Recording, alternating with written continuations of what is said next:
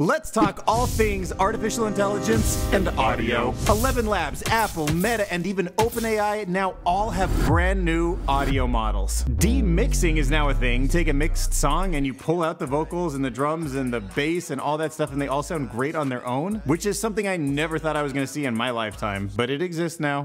And of course, everybody is suing everybody when it comes to like who's allowed to do what with all these, you know, separated instruments and these deep fake like voices, and it's all mess. But most important for our conversation, Artificial intelligence is now improving K-pop. The South Korean entertainment company called Hybe, who you might recognize because they're the ones that manage the K-pop band BTS. Well, they recently launched a solo music project with one of those stars named Lee Hung, and his debut single was released in six different languages simultaneously. And if you're suspicious, you should be, because that's artificial intelligence doing five of them. That's right, AI can keep that sultry tune in Korean, English, Spanish, Chinese, Japanese, and Vietnamese. Now, the particular AI model that they use is called Simpletone, but it's not one that we can use because that's actually the name of the company that Hybe actually purchased for $36 million. Yeah, all of that so far just so Lee Hung can actually change his voice to sound like he's from other countries. Oh, no, that's not true. There's one other thing it can do.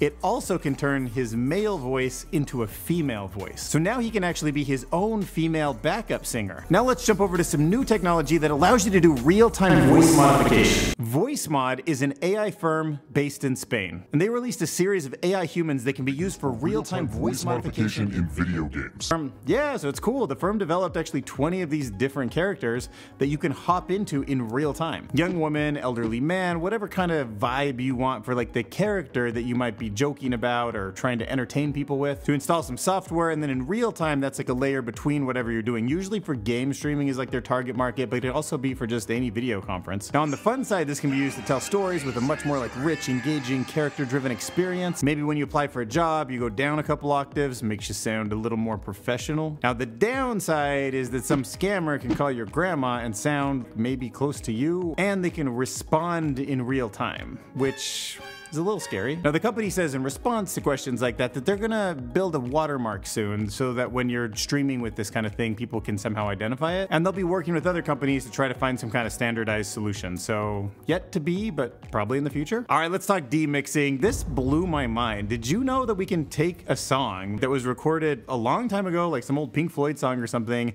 run it through a new AI, pull the separate instruments out so you could just replace the lyrics or just like add like some sick new, you know, EDM drum beat to it or whatever. Christopher Landschoot wrote this article, The Music Demixing Revolution. And he does a great job breaking down how new deep neural networks have come to learn what happens when you combine instruments, separating out instruments from a fully mixed track. The state of the art right now is called the Band Split Recurrent Neural Network. And that model has improved music demixing about threefold in the last five years. Yeah, so next time you're just singing in the shower to some Billie Eilish song or whatever, and you want to replace that voice, then just pull it on out and sing to your heart's content. Smash that subscribe button. All right, now let's talk about text to voice because the company that's really led that in a public way is called 11 Labs and they're in hot water. So 11 Labs is a well-funded company that you can go online right now and actually create deepfake voices. I've done some examples of cloning my own voice in previous videos and the experience is scary kind of. Like it took me about six minutes of voice to completely clone something that's arguably me if it doesn't have all the inflection, but enough that it could fool some people on the phone. But the news organization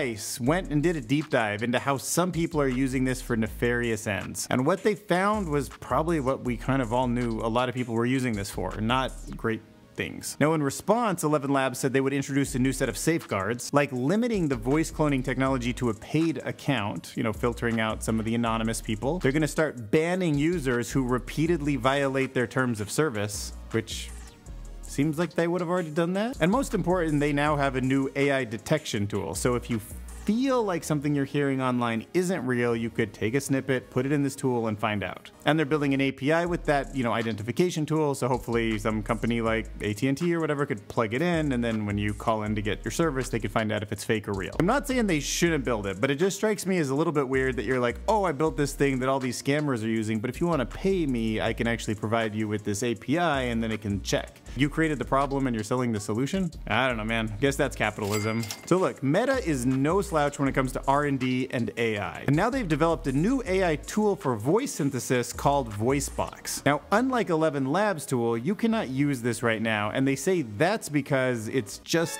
dangerous to put out there. It's going to create too much scam, so they're holding it behind their wall right now. But through research papers and examples, we know it exists, and it's impressive. So unlike previous voice generators, VoiceBox uses something called flow matching. And that special technique allows it to create a much more versatile, wide range of voices that it's never even heard before. Some would argue is completely believable speech. Some would say, eh, it's still got some rough edges, but it's convincing. But acknowledging the risk means that all we have for an example is this voice sample. Quick brown fox jumps over the lazy dog. The quick brown fox jumps over the lazy dog.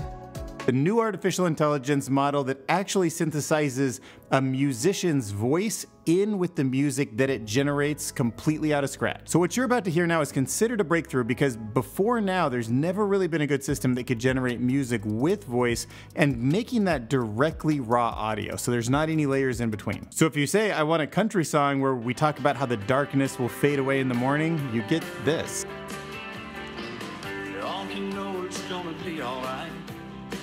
Let the darkness fade away.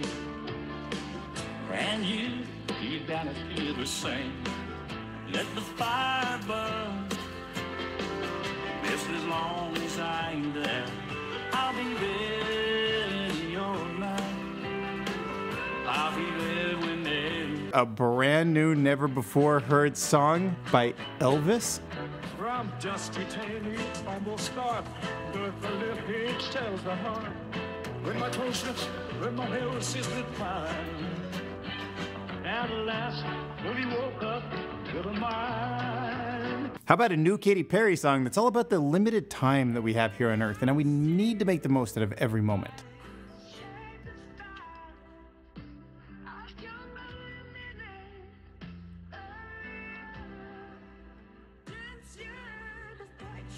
It's important to appreciate how novel this approach is. So the common way to generate artificial intelligent music is to first make it symbolic, and then you convert that into sound using the AI tool, wavenets, autoencoders, GANs, some of those kind of tools. And these methods have been pretty successful at generating different kinds of music. But Jukebox is different because it keeps the entire process in the audio domain. It creates raw music right out of the model, which is tough because that usually means that you have to deal with these long sequences, something that most of the AI models start getting confused on when they get past that, you know, equivalent of a context window in a large language model. For example, a four minute song at only CD level quality is 10 million steps. And in the blog, they compare it to something like GPT-2, which in context would have only been able to handle 1,000 steps. So they took an autoencoder to make the music into a smaller sample space. They basically compressed it for better terms using AI. But it's still raw sound, and then they used auto-regressive transformers like the T in ChatGPT. Although it's remarkable this is still not a perfect system. And the main problem that they get is the timing issue, especially as the song goes on. So the beginning of it sounds pretty in tune and in beat, but there's something a little bit weird about trying to have the drummer like hit the four beat sequence over and over again on a song when it comes through kind of a stretching process like this where it starts getting a little wonky after a while. But the cool thing is OpenAI completely open sourced this model with all of the weights. You can go ahead and play with it yourself. And there's even some tools to help you get in there, analyze it, figure out what could maybe be an improvement.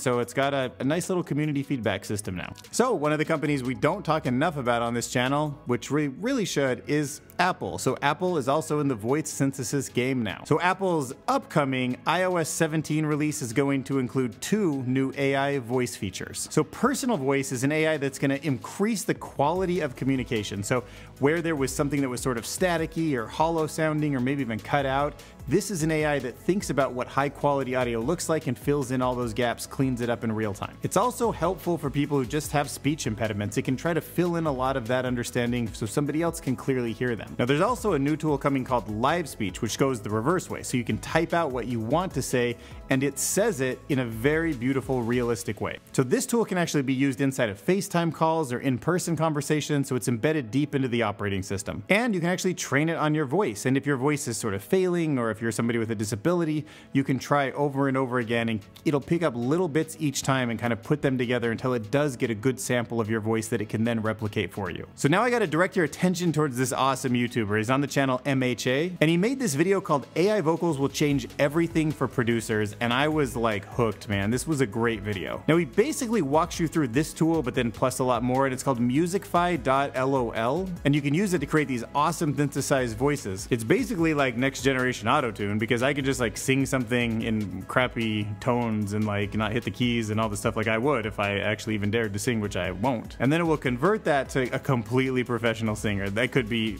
female, male, like different tones, like all that stuff. So there's a cool example at the intro to his video. So this is his raw singing voice. Time, we're running out, we're running out of time. Ah, I mean, I think it's pretty good. I mean, I wouldn't do that, but it does get a lot better. Check this out. time. We're running out, we're running out of time.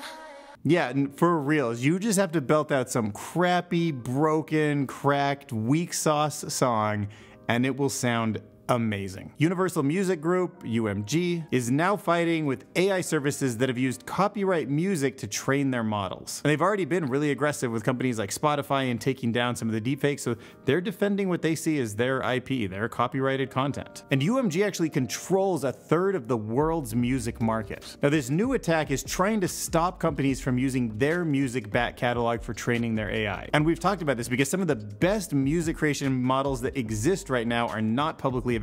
Google's Music LM and Facebook's VoiceBox, we've heard the demos that they've released, they're incredible, but nobody can play with them. UMG would be like, I'm going after you immediately. So right now, the US copyright law says that AI generated images cannot be protected by copyright, emphasizing more of a need for human input before granting that kind of protection. So in light of that position, UMG and friends are advocating for a very solid stance against these kind of models. It's time to get mysterious. Underneath the digital veil of the ordinary, Vice has discovered the clandestine sanctuary within Discord's virtual walls. Here within these secret alcoves, a legion of rogue producers, thousands strong are engineering the future of music with the help of AI. This server is a Pandora's box with step-by-step guides on how to deepfake the craziest music you can hear. Designed to arm neophytes with the tools to effortlessly spawn AI-generated covers and original compositions, parroting renowned artists.